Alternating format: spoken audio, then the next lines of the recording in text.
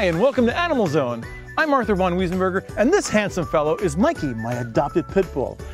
Animal Zone is the A to Z on everything about adoptable pets. Whether you're looking for a bird, a cat, a dog, or even a tortoise, we've got experts who can share their knowledge and insights. So cuddle up with your favorite critter and join us as we explore the Animal Zone.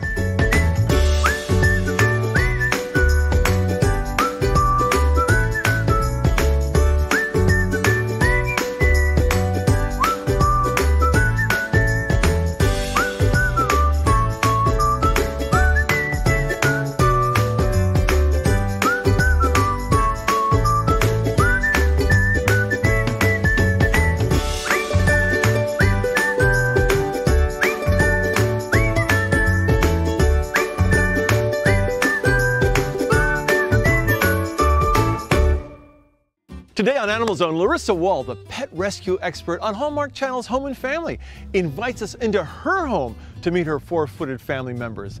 Then we meet an Irish dog trainer at K-Nine Solutions in San Ynez. Laura Stinchfield, the pet psychic, talks with Sprite, a kitten I adopted from Kitten Rescue LA.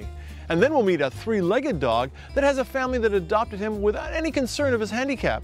So let's go for a stroll into the Animal Zone. Bonjour Alex. Bonjour Renaud.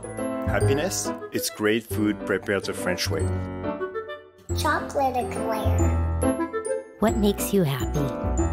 A touch of Paris. Without the trip to France. Handcrafted daily in our bakeries, especially for you. Indulge yourself. Bon appétit. Please visit Renaud's in Gelston, Santa Barbara, Long Beach, and La Cañada Flintridge. The Santa Barbara Humane Society is an independent, local, community based nonprofit with adoptable animals ready to find a forever home today. The Santa Barbara Humane Society offers low cost spay neuter and vaccinations to cats and dogs in our community. And Dr. Sisk is our veterinarian who performs those surgeries and helps with the vaccinations. Also, please have a relationship with your local veterinarian in case of an emergency. Visit sbhumanesociety.org and remember At the Santa Barbara Humane Society, we want you to adopt, not shop.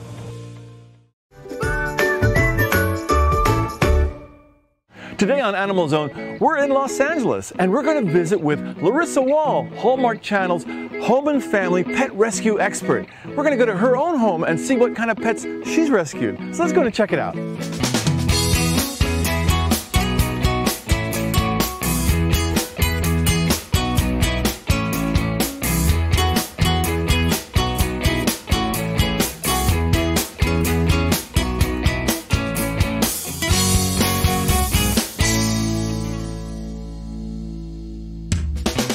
Gosh, Larissa, it's so great to be at your beautiful home. Thank you. And with all these gorgeous little creatures.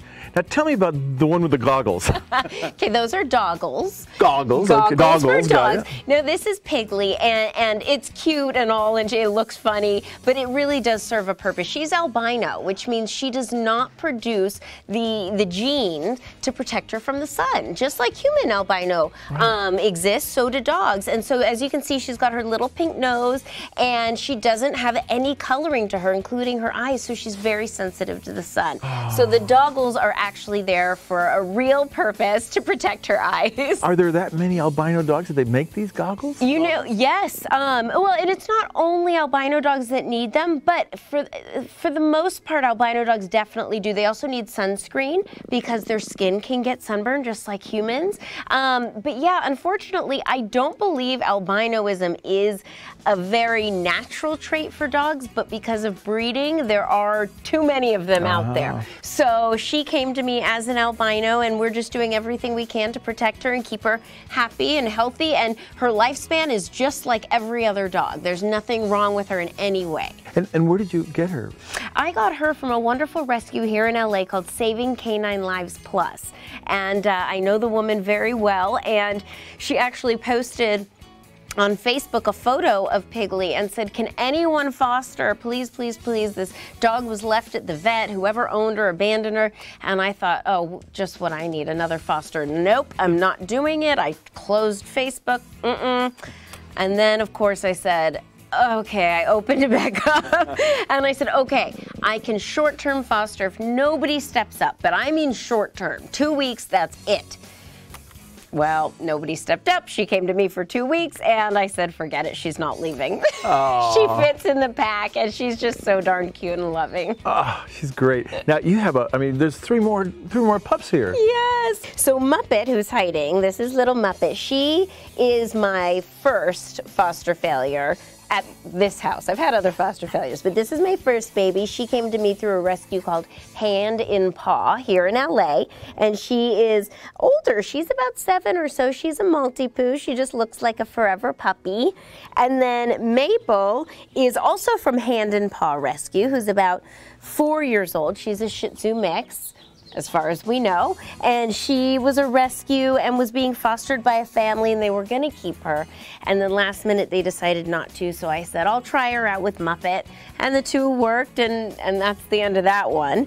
And then Lady just came to me about a week ago. Lady was actually being sold on Craigslist not as a puppy, not a not a breeding operation per se, but whoever had her um, decided they could no longer keep her because they lived in an apartment and she was having a little separation anxiety when they would leave, and the neighbors were complaining, and the landlord said you have 24 hours. You need to find somewhere for her to go. So they, they posted her that they were um, selling her and I contacted them and I said, look, I'm not going to buy a dog. I don't do that. I do rescue work. However, I can find her a wonderful home if you want to relinquish her. And they said, okay. And so she's been with me a week, and um, it's interesting because most of the dogs I've I've brought into my house have come from shelters or rescues, and so their behaviors follow a very specific pattern. But Lady came from a, a house, and uh, for all intents and purposes, from what we know, a not so horrible house, and so she's taking a little bit longer to adjust. This is kind of a, a really weird place for her. You know, she's still a little unsettled where the other ones kind of become really um, uh, clingy really fast. She's a little bit more standoffish, but she's warming up and getting there and, and blossoming, and she'll do just fine, and we'll find her a forever home soon. So Larissa, with all these beautiful pups, what is your limit? Well, before Lady, I actually had two other ones that just went to their forever home last weekend. So that was five in the house, which, by the way, isn't legal. So, we'll, you know, I'll, I'll, try not to do that again. But um, that's my limit, absolutely. I was going a little crazy because, you know, they're on my mind 24 7 when I'm at work, when I'm at dinner. And so it's a lot of responsibility. And having five to think about all day, you know, are they okay? Are they in their pen? Did they get out? What's going on? Did they get into a bag of treats that they shouldn't? It's too much. And besides uh, the responsibilities of having four pups, it's also expensive. I would sometimes wonder where my money goes, and then I look around and I went, ah, yep, vet bills, pee pee pads, food. I mean, of course, these girls like their good food, yeah. which is not cheap, and they go through it like that. Um, washing just the, the towels and the sheets and the everything, you know, it, it costs a lot of money. And so, on a realistic level, and for anybody out there who's looking to adopt an animal, you know, be realistic about what you can do. It's not fair to bring more than one in if you can't take care of more than one properly. You know, you really do need to weigh that out. And until the time is right, maybe don't bring a second or a third or a fourth now, we get to watch you every day on Home and Family, a Hallmark Channel's Home and Family, and you have the most wonderful adoptable dogs that come on. Do you ever get tempted to bring one of them home? All the time. All the time. I love them. It still surprises me, and I know how many great animals there are out there looking for homes, but we get everything that you would want. We get labs, pit bulls, uh, poodles, Maltese, purebreds, cockers, beautiful mixed breeds. I mean, you dream it, we've got it, or we can get it. And it just goes to show that no matter where you live, and no matter what animal you want, you can rescue one. Now, it might take a little bit longer than walking into, let's say, a pet store or something, then, then there they are right there. But it's such a worthwhile wait to find the right one for you. And there are many days that I'm being, you know, the animal's being taken back out of my arms, and I'm like, okay, bye, because I want to take them home. But again, I have to be responsible and not bring them all home. That's so great. Well, Larissa, you are the pet rescue goddess. Oh, so Oh, thank you. for having us and introducing us to your little babies. They're Oh, so great. We're going to take a break and we'll be right back after these words. Hi, I'm Tina. This is Stuart. We're at AB Ranch in Santa Paula, and you're watching Animal Zone. Hey, take a look at these loving animals that you can adopt today. And don't worry, if someone beats you to the shelter, there are plenty more wonderful animals ready to find you and their forever home.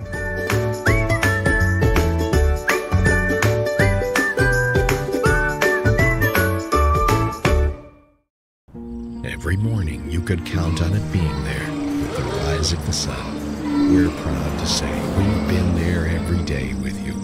The Santa Barbara News Press plans to continue sharing the news of the day with you all through the year and beyond. It's nice to know there are some things you can still count on. The Santa Barbara News Press, serving Santa Barbara since 1855. Subscribe today. Call 1 800 654 3292.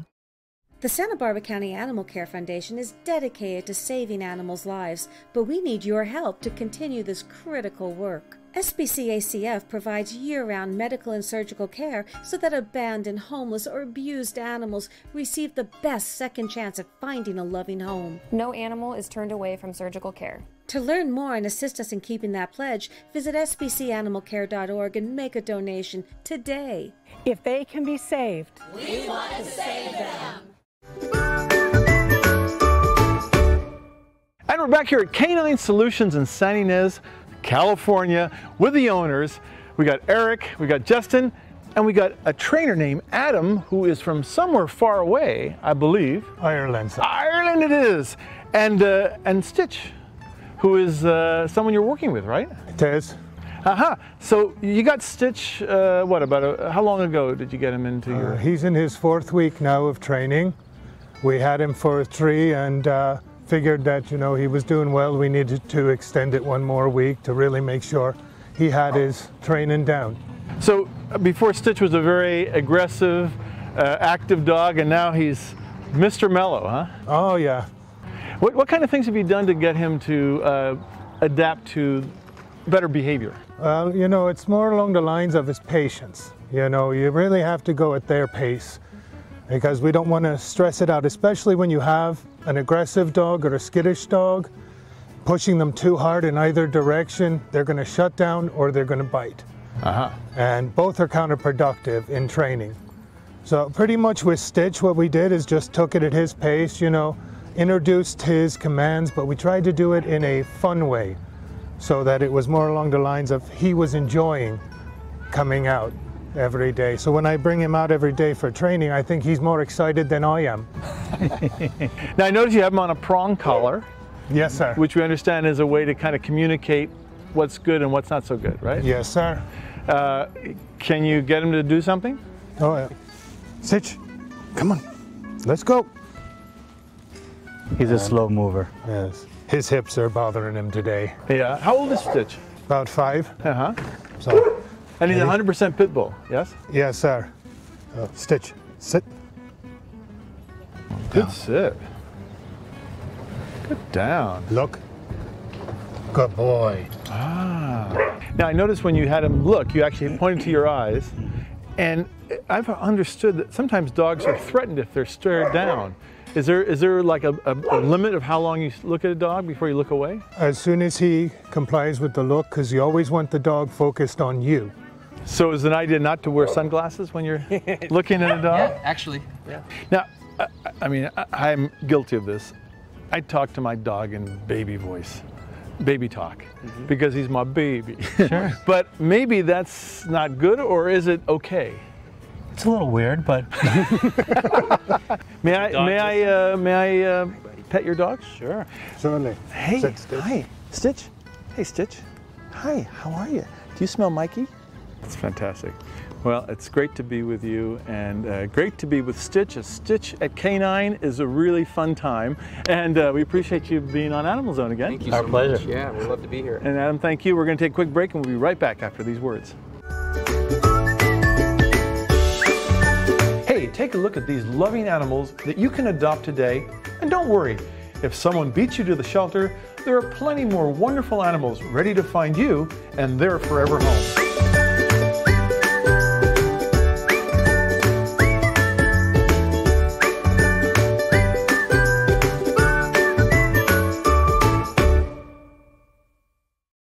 Care for Paws was started in 2009 with the goal to reduce pet overpopulation and keep animals out of shelters, and also to ensure that pets can stay with their owners for life. We, from the get-go, established a free spay and neuter program that would help low-income pet owners fix their pets. So we provide shots, microchips, dewormer, flea treatment. We also have a veterinary intervention program. It's a way for us to help improve the quality of life for the animal as well for the owner. Because when an animal suffers in the family, so does the rest of the family.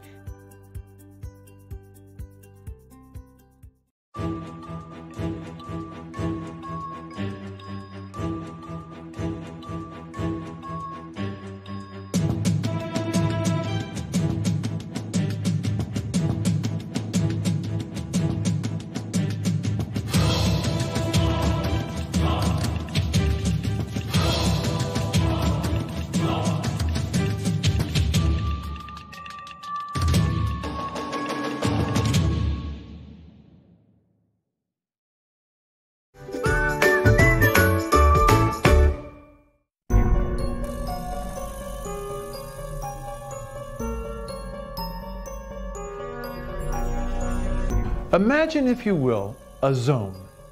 A zone where animals can talk to humans. Submitted for your amazement, the pet psychic, as we enter the animal zone.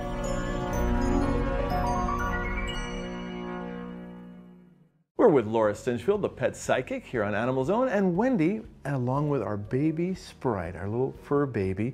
And I gotta tell you one of the stories what happens when we shoot these shows. We go to animal shelters around the, the country, and we were at one in Los Angeles, the LA Kitten Rescue, and little Sprite there and his brother were just two of the most adorable little kittens. And the biggest problem you have when you do this show is you want to adopt them all. Well, I called Wendy and I said, I think we found a, a little friend for Electra and for all of us. And uh, Wendy said, well, let's let's uh, find out about him. And she found out not only did, did, was Sprite there, but his brother Buzz was there too. So she said, we can't separate them. We got to bring them both up. And uh, lo and behold, they became our latest family members. So, Laura, with that said, maybe you can tap into Sprite and find out, Yeah. you know, what, maybe his early years. So, Sprite, do you remember anything about your life before you came here? Do you remember anything about that? Oh, you remember how the sun used to come through the window and how he would get warm through the window? Oh, so do you remember being outside at all? You remember sunlight? Because you were little, huh? You just remember the way it felt? Your mom was a good mom. You remember that your mom used to carry you? Where did she carry you from? Do you remember? You were under a rock and she carried you to a bush? Oh, do you know? Was she outside? That sounds like he was outside. It does sound like they were outside. Yeah. It's a big litter too, I think. Yeah. He says, Do you know what I love about this home? What? What is it that you love about this home? Oh, there's so much love at this home that you feel like a kitten even though you're growing up. You're still a kitten though, buddy. And they ask you if you want to play today? Oh. So Sprite says that the other thing that he loves about his home is that his people are always saying, like, talking to him about his personality and like what kind of cat he is. And he said that helps him like grow into that. That's interesting. So, like, if you talk about him being confident, then it helps him grow into being more confident. He's very bold for, for a little cat. Oh. And, and it's amazing because he was a little tiny kitty. Yeah. And he was walking around and his tail st- sticks straight up. Oh, neat. It's like, uh, he's like a little prince walking around. And uh, it's so great to see because he brings in that warm, happy personality wherever he goes. Well, maybe he's also rating that part of you guys, you know? Like he's mirroring that. Now, he loves to sleep on Wendy's. Yeah. And- I think you just heard him because he was just saying, I love to snuggle with my mom. I think you heard him. I'm the other pet psychic. I think so. He really does, and, he, and it's so sweet. I, I watch them together, and it's like uh, I don't know who's cuter actually. Oh, that's so sweet. Uh, well, it's so great to hear all this from you and uh, to hear Sprite tell us what he thinks because it really drives home. I mean, it's all so accurate. It's amazing. You're, you're incredible, Laura, and I appreciate you coming in and sharing your insights. Sprite's incredible. Uh, well, that's great. Well, we're going to take a break, and when we come back, we're going to have a lot more Animal Zone. Stay tuned. We'll be right back. My grandfather taught me about the beauty of the rugs. Each one tells a story. Story about the person who wove it, the person who bought it, the person who inherits it, the person who treasures it. It's amazing how simply looking at an object can bring you back to a different place and time or remind you of someone you love. At Santa Barbara Design Center, we want to help you find a rug that will travel through time with your family for generations to come. Visit us at 410 Oliver Street and find your treasure today. Water, the essence of life, flowing from Mother Earth, gathering essential minerals, trace elements, and vitality as it journeys to the surface, collected fresh and pure from springs around the world, each one as unique as a fingerprint. The world's best bottled waters are waiting for you at bottledwaterweb.com. And welcome back to Animal Zone. Now, joining us, we've got two very special guests and a third one Tamiko and Christian Taft, and their little friend, Alfie. Tell me about Alfie, who is the most stunning little Pomeranian. Yes, you are. So Alfie is a, uh, we believe, seven-year-old um, Pomeranian. He was a rescue uh, from the Santa Barbara shelter by way of Santa Maria, and we were fortunate to have been given the phone call that a rescue Pomeranian uh, in Santa Barbara County had been found, and we had recently lost our little puppy Eddie, and so we were just really excited to meet this new fluffy thing. When you had lost your other dog, I mean, there's a period of grieving. It's hard to think about getting another dog. And you told me you, you really weren't ready for another dog at the time. But That's- things changed. That's true. That's true. Emotionally, you know, when you lose a pet, there's a you know grief is grief, and it's important that you you let that grief period um, come forth, all the emotions of losing an animal.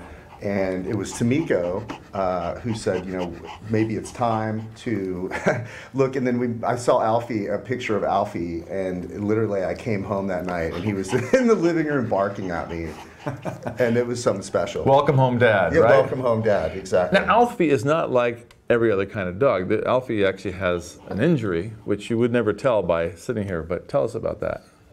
So from what we, we gathered from the from the vets, um, Alfie had sustained an injury um, with his family back in Santa Maria and was not taken to a vet to get uh, proper care. As it turned out, Alfie had a broken leg, and what we were told uh, was that his leg uh, was broken for about three years, Mm. which was an inoperable uh, surgical procedure. Um, and so the doctors made the decision to amputate his uh, front left leg fully. And that's how we, you know, we got him San's leg. and, uh, you know, makes him super special. And, and believe me, you can't see right this second, but he Yeah, is. Hold him up he's super mobile. He runs like the wind. Uh, he loves to play. He's a, f- a fantastic Yeah, little, he gets around I mean, great. you guys are like double Animal Zone heroes because you've adopted an animal, an older animal, and an injured older animal. That's pretty incredible. Well, the nice thing too about an older animal, he came to us perfectly trained. I mean, he's such a good dog. He loves kids. He doesn't beg for food. He barely barks. Like, we didn't have to do anything. So we got really lucky. Now, you were saying that, that when people think about adopting a dog, it's, there's a lot that goes with adopting an animal, and a dog especially. Some of the things that you have to go through before you make that commitment, what are, what are those? Right. I mean, it's, it's definitely a commitment. It's not something to take lightly. You're taking an animal's future into your home, into your hands, and you want to make sure, number one, safety first. Is your, is your home a safe place for this animal uh, to, to make itself comfortable? Um, you want to make sure that you have a, a, good, stable kind of living environment. Obviously, you're going to be incurring expenses, um, possibly medical expenses. You've got to buy toys and food and make sure all those things are in place, not unlike a, a child. And then the responsibility is equal. Um, one of the great things too is you also want to have people in your life that are also very dog friendly or pet friendly, um, which we have. We're very fortunate to have people that want to take care of Alfie that allows us if we'd like to travel. We know that there's someone that love is going to give Alfie that care that we would exactly like they would. Wow. So you have what, family or friends who come? Friends here in town. Wow, that's yeah. great. Yeah because that that takes a big burden off if you can depend upon someone uh, to help out. It's like having a kid. Yeah, absolutely. Leave someone. No, it'd be like having uh, you know leaving your child with a babysitter. And I'm not equating a children to a dog, but in our case, this is our little fur baby. Uh-huh. So we want him taken care of. Right. As such, uh-huh. you know, and we're a little bit obsessive about it too. so. I mean, it, it, it's just great to see that you guys have done so well. And, and it was the Santa Barbara Humane Society, right, where, the, where ultimately you, you found Alfie yeah. through? Yeah. And was the adoption process smooth and mm-hmm. did it go easily? Mm-hmm. And uh, I mean, they, they, seem to really care about the animals that they put Absolutely. out for adoption. So yeah. they, I'm sure you went through a lot of qualifying as well. And that's a good thing. Yeah, oh, for sure. know? To make sure they get a good home. Now, are you thinking about adding any more animals to your uh, oh, group? gosh, we'd love to. Not at the moment, but we'll see. Yeah. Hopefully. Maybe a small cat or something. we know a Something few. to think about. well, you guys are great to be doing this. And you said that some of the folks that uh, help you with uh, Alfie are, well, they happen to be right here in studio. Yes. You want to As- introduce as us a to matter of fact, today we have Lex and Lulu Burns. They are Alfie's bestest best friends. And help take care they of him when we go out of town. We go out of town. Hi, guys. Uh, that's so great. Alfie looks like he's pretty comfortable with you too. Oh yeah. Isn't that great? And they have another little one at home, Lulu. Or Lulu and Lex have a little um, Pomeranian called Lily. Oh. Alfie's little buddy. Alfie's little buddy. And, and uh, uh, so Pomeranians are friendly with other Pomeranians, huh? Oh, yeah. Yes. They get on well. Yes. Well, that's great because then it's all one big happy family. Yeah. Exactly. Oh. and Alfie runs and plays and acts just like a, a four-legged dog, right? Mm-hmm. Easy. You play, you throw a ball for him or anything like that? Um, well, he's not really like a fetcher. He's not a fetcher, huh? Okay. But he likes to play. Yeah. yeah. Well, he sure is cute, and you guys are cute to be looking after him. He's very lucky to have such a nice uh, family. Well, thank you guys all for all lucky. being here and uh, appreciate you giving us these insights. Thanks for having and, us. Uh, congratulations on being true uh, Animal Zone heroes and adopting this wonderful dog. Of course. Thank you. Thank you for having us. We'll be right back after these words. Sometimes scary things happen, like fires and floods. And suddenly a family has lost everything. That's why the Unity Shop has a disaster assistance program. We help families with immediate needs like food, clothing, and household items. And we continue to help them long term until they're back on their feet and in their homes. But it takes a whole community to make this possible. Please, donate today so we can help everyone who needs us. Find out how you can help at unityshop.org. The Santa Barbara Humane Society is an independent, local, community based nonprofit with adoptable animals ready to find a forever home today. The Santa Barbara Humane Society offers low-cost spay and neuter and vaccinations to cats and dogs in our community. And Dr. Sisk is our veterinarian who performs those surgeries and helps with the vaccinations.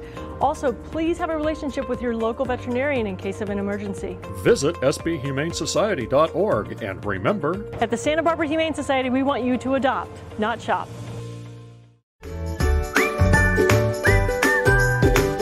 Weren't there some amazing animals and guests? You know, you who adopt animals from shelters, you are the true heroes. If you want to see more about Animal Zone and other things, check out our website, animalzone.org, and we look forward to seeing you next time.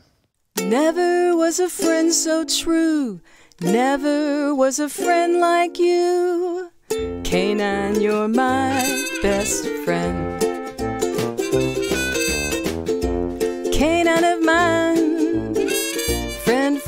Time. So glad you're my best friend. Through thick and thin, we'll see things through. Canine of mine, so true. Did I find you or did you find me? Either way, it's still serendipity. When I saw you, it was plain to see you weren't just another lassie wannabe. Oh, canine of mine, friend for all time. I'm so glad you're my best friend.